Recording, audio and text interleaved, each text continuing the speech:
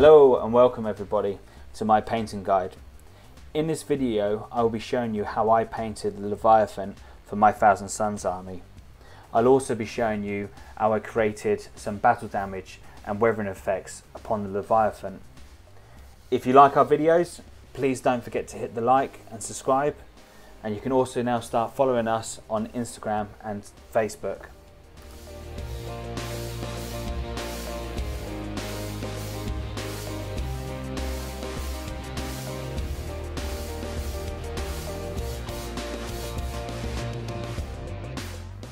I undercoated the model Chaos Black Primer from Games Workshop.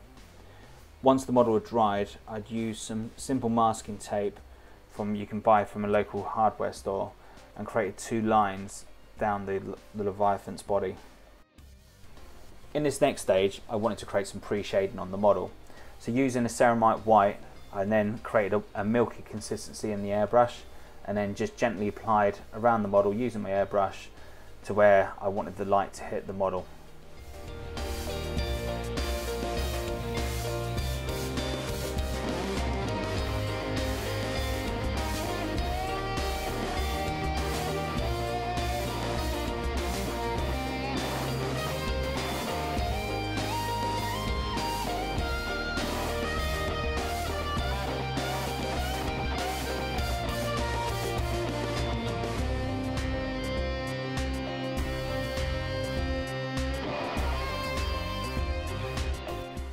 For the shoulder parts, I used a small drop of ceramite white and a small drop of sky blue from scale colour and then just watered it down into the airbrush and then went completely over the model so it's kind of like a pale blue around the shoulder pads.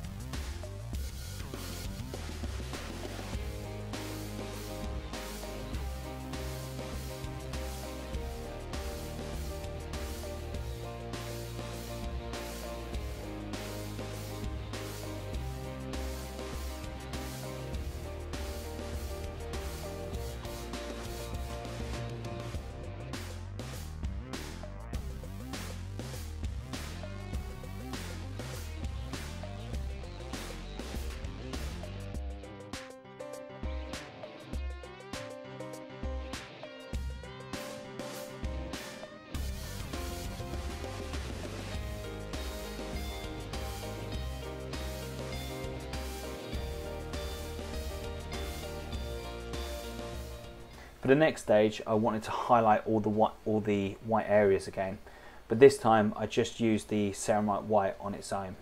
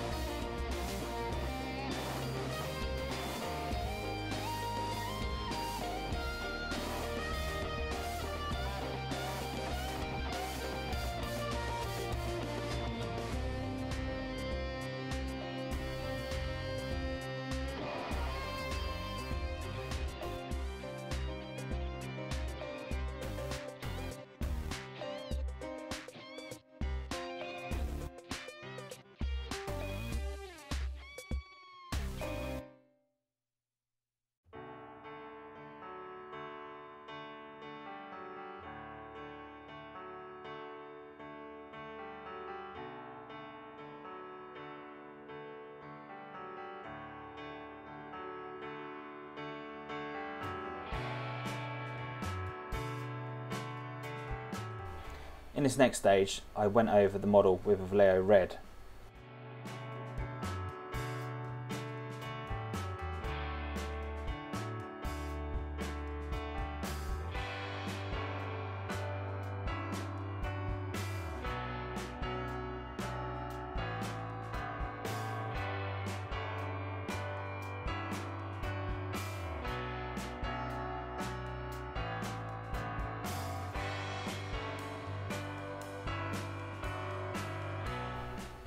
the red's hitting the, the pre-shaded model, you can see the highlighted parts coming out and then the pre-shading underneath.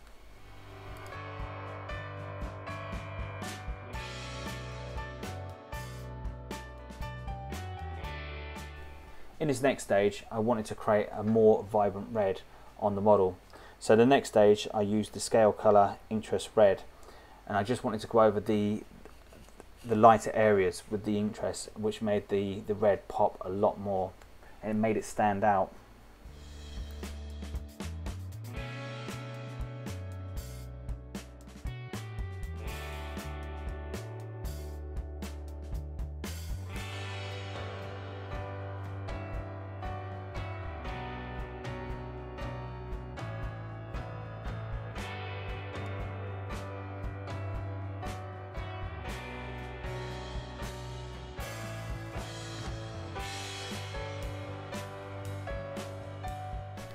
For the next part, I went over the model with the uh, Vallejo metal colour uh, steel and I went over all the metal parts with a brush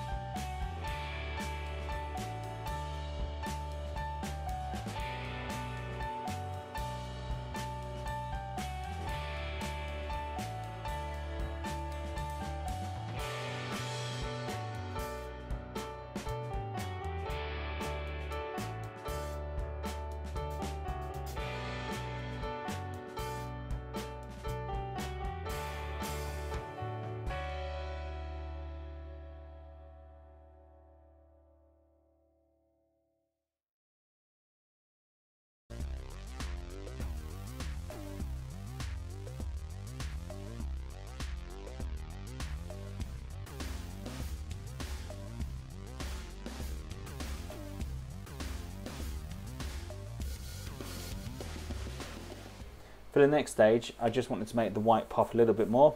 So pop in a small drop of ceramite white onto the plate. I then watered it down and then started to add the ceramite white to the edges of the of the white.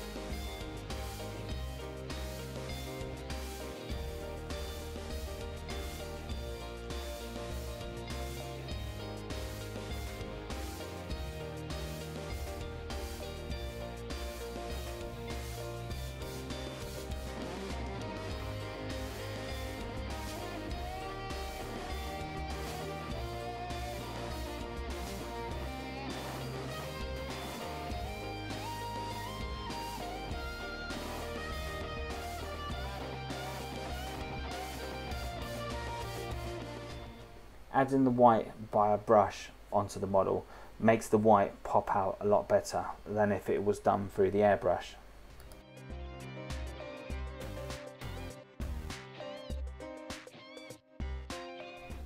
With the edges I wanted to make them pop a little bit more and make them be a little, bit more sharper with the white.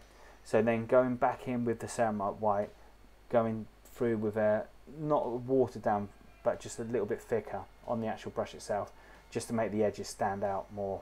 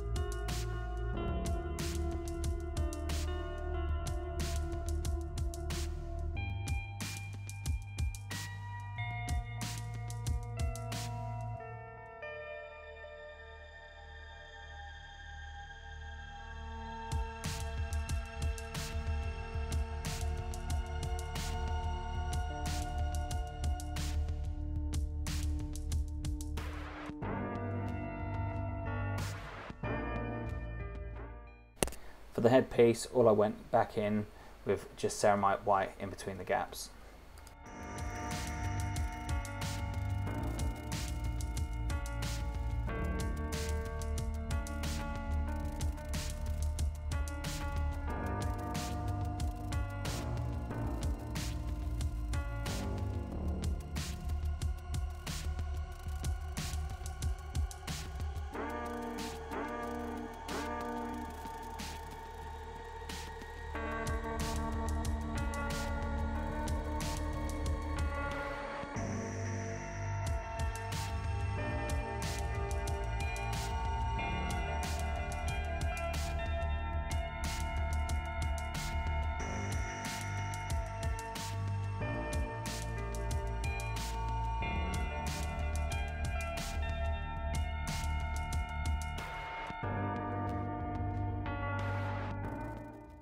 For the next stage, I use Vallejo Gold, the, uh, the acrylic metal colour range.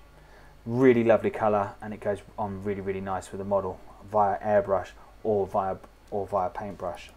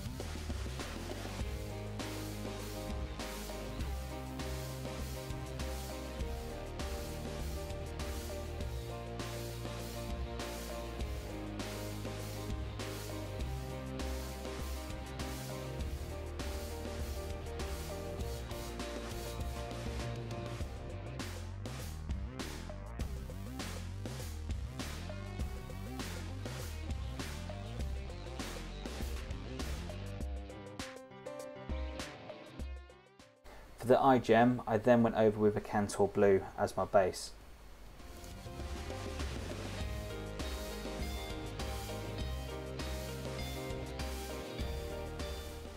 For the next stage, I went in with a scale colour, uh, just a slightly lighter blue, just to start working around the edges of the gem.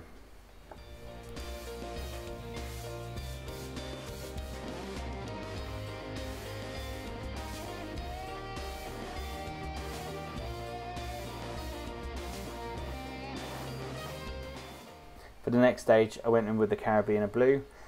Again, just watered down and then just come further into the edges just to raise the, the reflection. I had to do many layers of the Caribbean blue to get it how I want it to be.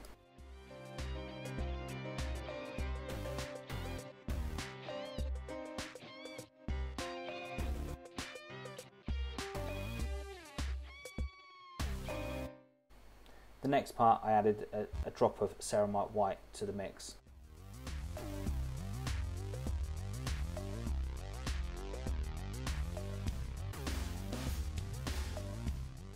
Once all the paint had dried, I then went over with the uh, Citadel Glaze Blue.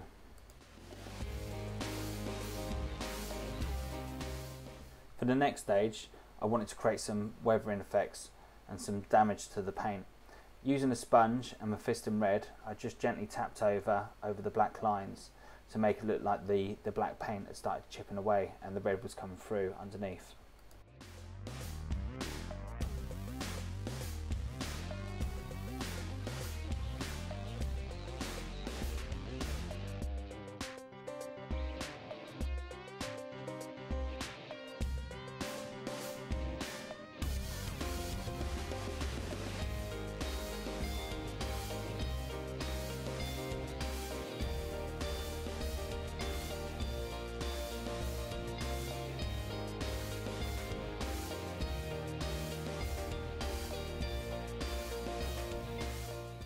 On the head, I just done the same process as I did upon the shoulders.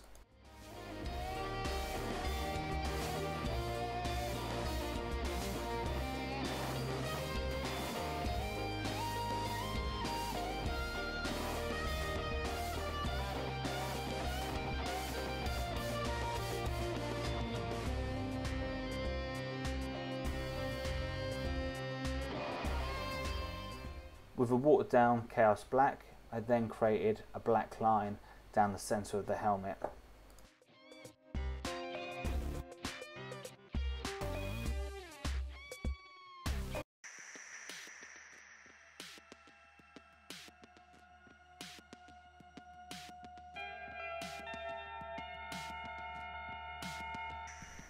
To make it look like the paint has started chipping off onto the black with a Ceramite white, I just then popped it on with the sponge just make it look a little bit weathered.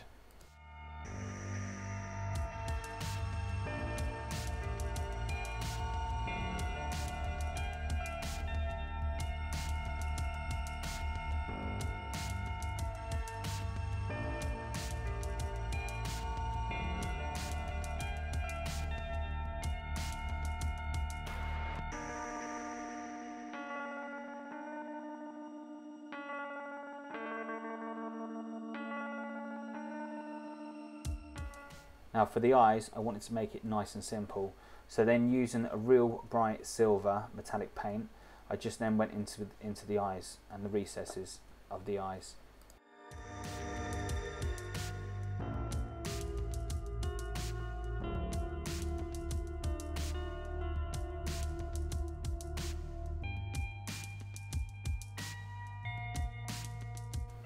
The next stage, I just used some gunmetal grey from Vallejo just going around all the, the pipes that are going around the helmet.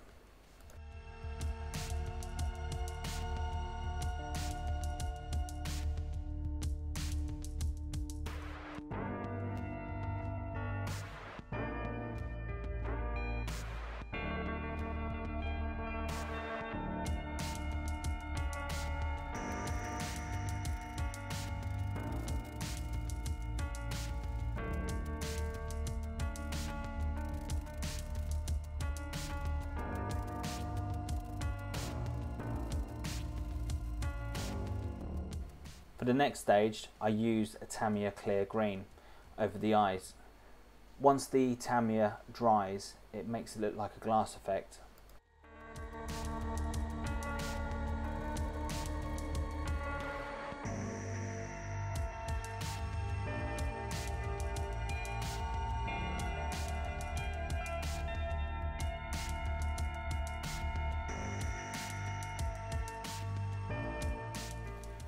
around all the exhaust pipes. I then use the uh, again the Vallejo copper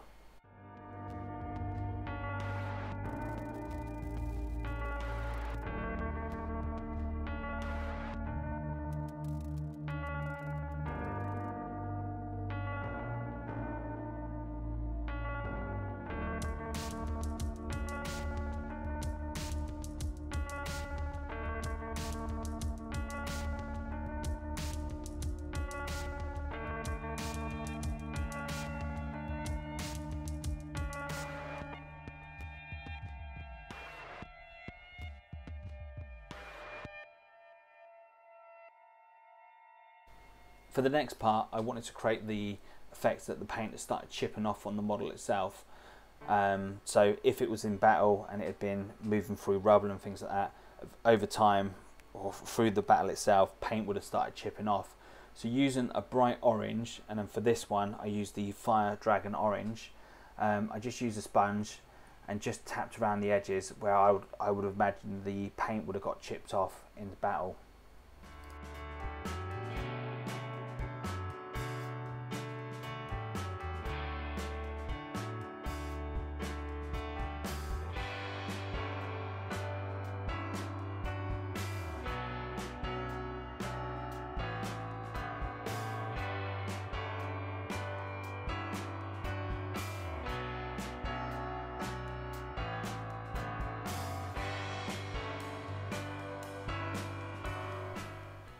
Next stage, I wanted to be more precise on where the paint has started to chip off.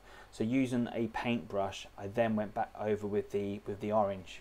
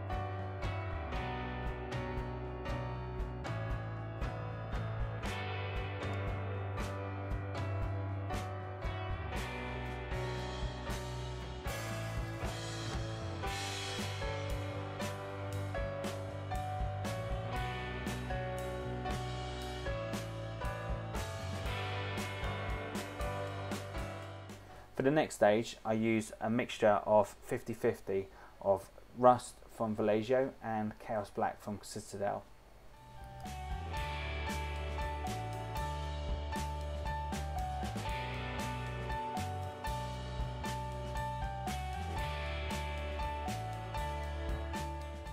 I applied the paint into the center of the orange to create a darker patch and where it, where the paint would have chipped off and you would have seen kind of like the rust effect underneath.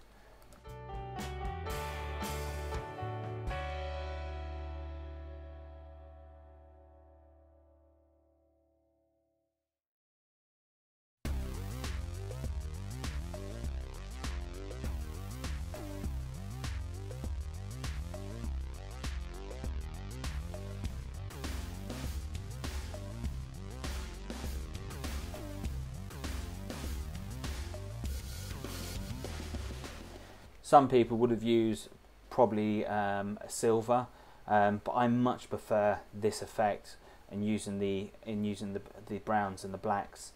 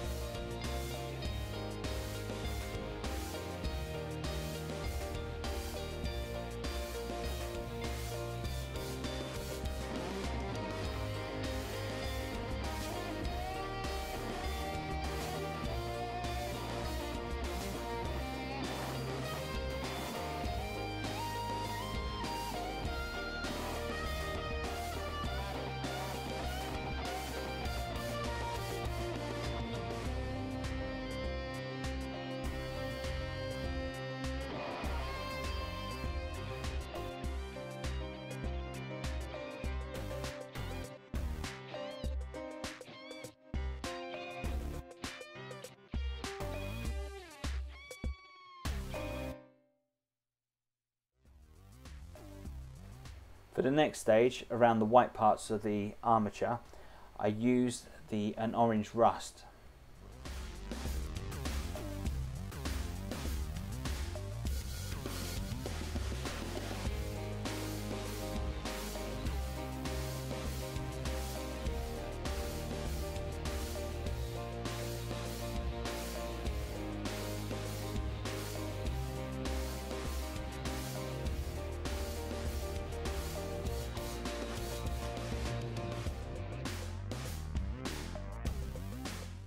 Same as the previous, I just used a drop of light rust and chaos black and then just started adding into the orange rust on the white parts.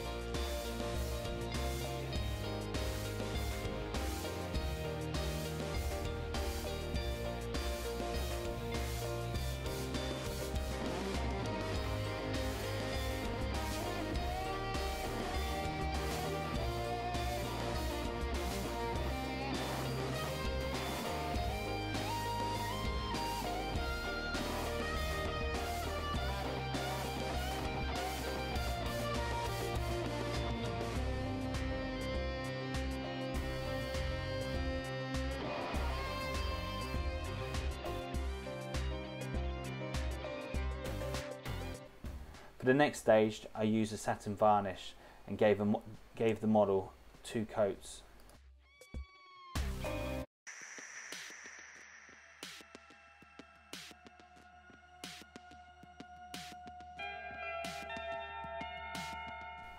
For the next part, I wanted to add some decals to the model.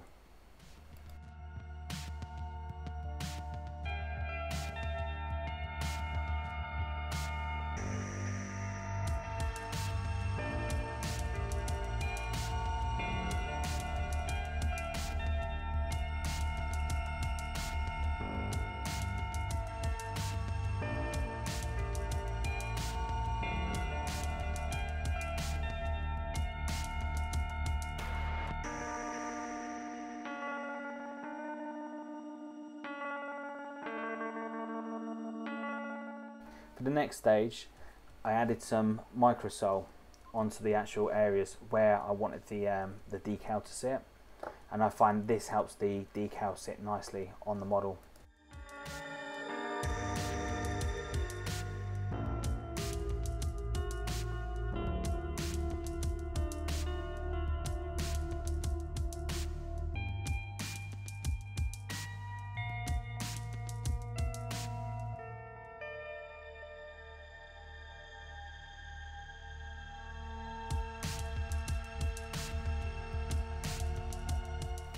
For the next stage, I created a white spirit uh, wash using just a small drop of um, Winsor Newton oil in with some varnish. And all I done was just popped it into the recesses, and then once you pop it on, you find the the oils just nicely and smoothly just fall down into the recesses. If you ever find that you've done too much, you can always go back over with a little cotton bud with a bit of uh, white spirit on top of it. And because you've use the, the satin varnish over the top of it, you can safely wipe away the excess amount of um, oil afterwards. Also, an awesome part of this is if you make a mistake or you do too much or you change your mind, going back over that cotton bud, you can just reset, just wipe it off, reset and redo it again.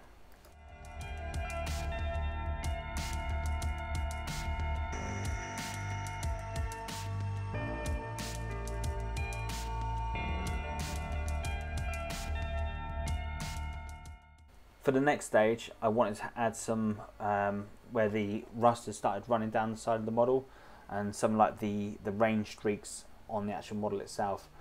So for the next stage, all I've done was just put a small dot of, um, of the oil, oil paint on top of the model and then with a soft brush I then dipped into the white spirit and then just gently pulled down on the model.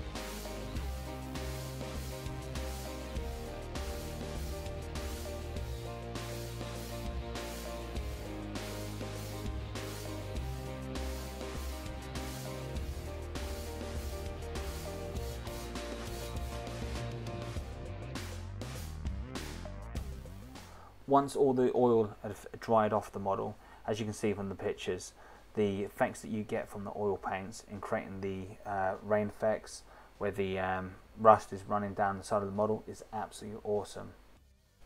I really hope you enjoyed this video as much as I enjoyed making it. If you like if you like what you've seen today, please don't forget to hit the like and subscribe. Thanks again for watching.